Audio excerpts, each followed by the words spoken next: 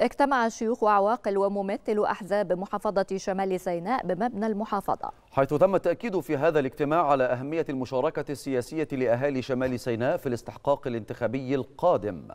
ودعا الحضور الأهالي للمشاركة بأصواتهم في صناديق الاقتراع واختيار المرشح الأنسب لهم للمرحلة الحالية.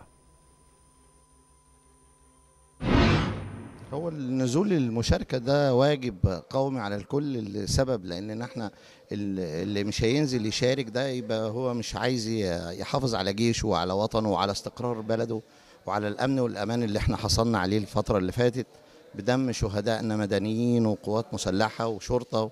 يعني إحنا دم ولادنا على كل شبر من أرض سينا فاحنا كفاية يعني إحنا لازم كله يشارك إن شاء الله.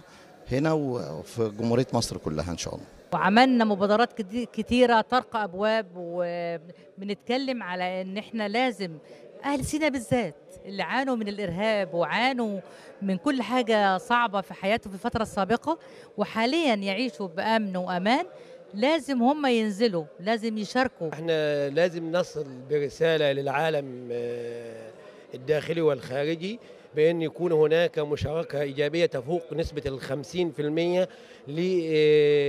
لاستدلال بأن هذه الانتخابات نزيهة وشفافة بإشراف قضائي كامل وبصفتي الحزبية وبصفتي المجتمعية والقبلية سنكون من أرض سيناء مشاركين بكل قوة.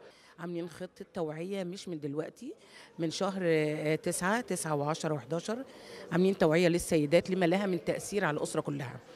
المرأة طبعا استشعرت القيادات السياسية كلها أن المرأة تأثير قوي مش على نفسها بس لكن عليها وعلى أسرتها على أبنائها على زوجها. فالمجلس القومي بيعمل حاجة اسمها طرق أبواب. بينزل يخبط على جميع السيدات في محافظة شمال سيناء كفرع مجلس قومي المرأة بشمال سيناء بيوعيهم على المشاركة السياسية فقط. بنقول للسيدات إن ده مش واجب فقط لبلدك لكن هو طبعا حق من حقوقك إن أنت لازم تقولي صوتك لازم تعبري عن رأيك.